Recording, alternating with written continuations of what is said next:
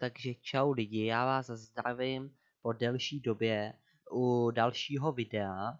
Eh, v tohle video bude jenom kratší, bude krátký a jenom bych vám chtěl ukázat, vlastně založil jsem nový Discord server, eh, jeho odkaz, odkaz na tenhle server bude v popisku tohohle videa a je i v inf, informacích v tomhle kanálu tak jenom bych vás poprosil, co aby se sem co nejvíc lidí připojilo. My, je právě tyko se ten se, server teprve rozjíždí, ale mohlo by to, mohlo by to, mohlo by to být dobrý prostředí, například pro předávání eh, informací různých a takovéhle věci.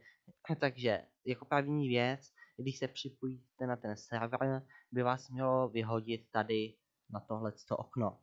Tady si přečtěte přečtete pravidla a tady se řeknete, do jaké vlastně do jaké kategorie chcete spadnout.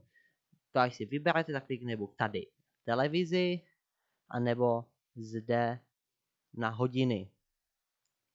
To pak se vám otevřou různé kanály a zde můžete četovat můžete si se napsat o nějakou radu, takovéhle věci. Potom uh, pro pokročilejší, už to se budou díl, budou ověřený, už se odemknou i hlasový kanály, jsou tady rytmusáci a takové věci. Zde budou chodit všechny oznámení, kdy vydám nějaké video na YouTube nebo na Twitch.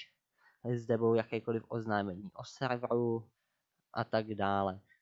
Takže to by bylo asi pro tohle video vše. Takže já se těším, že doufám, že co nejvíc z vás přijde na můj server novej. Takže zase někdy příště. Čau.